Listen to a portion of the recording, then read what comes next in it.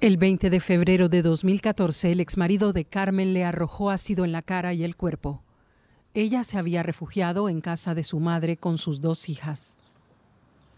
Entonces ya había denunciado tres veces a su ex por intento de homicidio, pero ninguna autoridad había hecho nada. Tras el ataque, Carmen pasó ocho meses internada al borde de la muerte y bajo constantes amenazas de su agresor.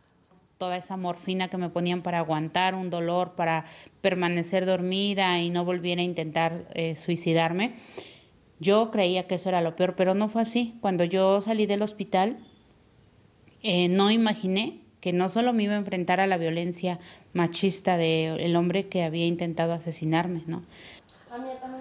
sino también a un Estado mexicano que contempla las agresiones con sustancias químicas tan solo como lesiones.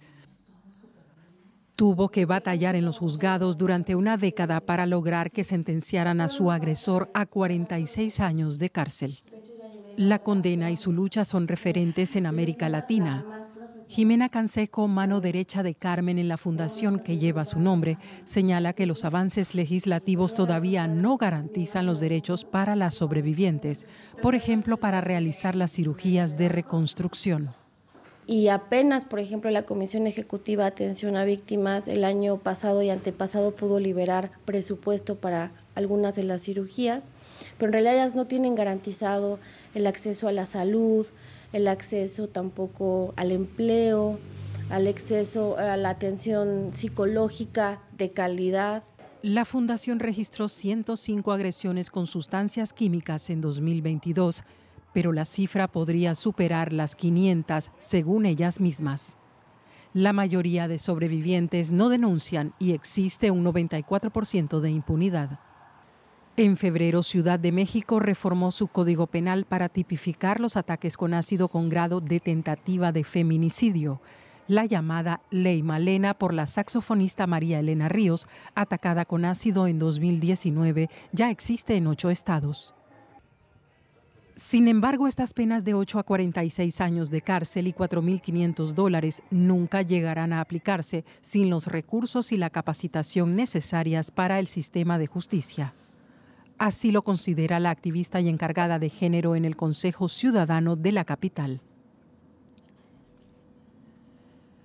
Es una manera también de enunciar el combate a la, a la impunidad. Son agresiones mayores. La violencia ácida es un delito de género atroz que está dirigido a marcar a la víctima en uno de los principales mandatos de género que tenemos las mujeres, que es la belleza.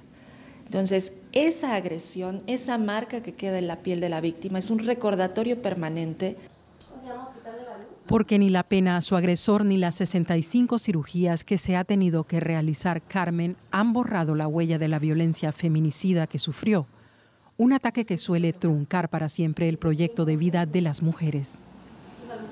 Para nosotras no es fácil amanecer y saber que que algunas de nosotras no tenemos trabajo porque las empresas no nos contratan, que no tenemos oportunidad de seguir realizándonos más cirugías porque no tenemos el dinero. Ahora sí, al menos en Ciudad de México tendrán los instrumentos legales para que los crímenes de sus agresores no queden impunes.